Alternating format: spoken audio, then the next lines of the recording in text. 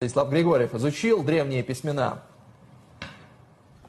Именно здесь, на краю Таманского полуострова, была найдена большая каменная плита со странным узором клинышками. На самом деле это древний персидский алфавит, один из наиболее причудливых из известных способов записывать слова. В фрагменте большой стелы с, э, с клинописью прочитывается окончание имени Дарий и еще одно слово, которое филолог, который читал эту надпись, расшифровывает как «милет». Персы, греки, скифы тысячелетия назад все эти народы смешались в этом регионе, воевали и торговали друг с другом. Раскопки ведутся на территории бывшей знаменитой древнегреческой колонии Фанагории, а царь Дарий неоднократно влиял на историю региона.